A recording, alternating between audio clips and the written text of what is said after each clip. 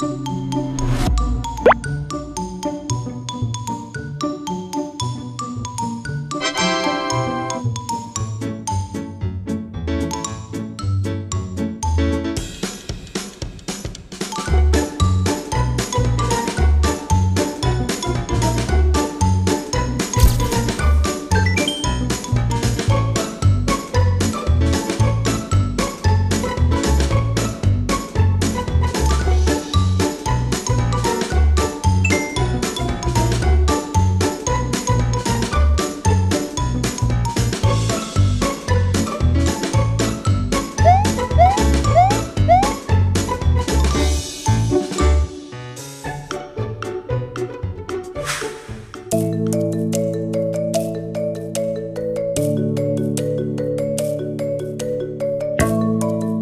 사람이 접근하기 어려운 위험한 지역에 사람 대신 파견되어서 현장에 있는 데이터들을 수집하고 전달해 줄 수 있는 역할을 할 수 있습니다.